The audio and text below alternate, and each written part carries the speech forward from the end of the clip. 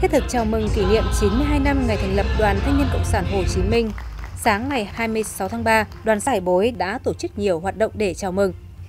Trong những năm qua, các thế hệ đoàn viên thanh niên giải bối đã tích cực hưởng ứng các phong trào và đạt được nhiều thành tích nổi bật,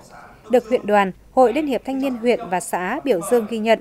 Nổi bật như phối hợp tặng 13 xuất quà trị giá 3,9 triệu đồng cho các gia đình chính sách, người có công nhân dịp kỷ niệm 75 năm Ngày Thương binh Liệt sĩ,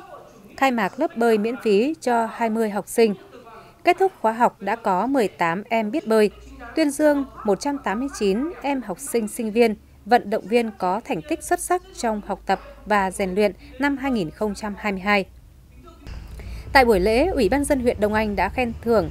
tuyên dương ba học sinh sinh viên xuất sắc tiêu biểu trong phong trào học tập và rèn luyện vì ngày mai lập nghiệp. Huyện đoàn Đông Anh khen thưởng 5 tập thể, 6 cá nhân. Ủy ban dân xã Hải Bối khen thưởng 4 tập thể, 21 cá nhân có thành tích xuất sắc trong công tác đoàn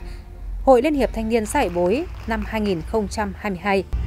Dịp này, đoàn xã Hải Bối đã ra mắt câu lạc bộ sinh viên xã Hải Bối nhằm tạo điều kiện cho đoàn viên, sinh viên có một sân chơi bổ ích, nâng cao kỹ năng giao tiếp ứng xử,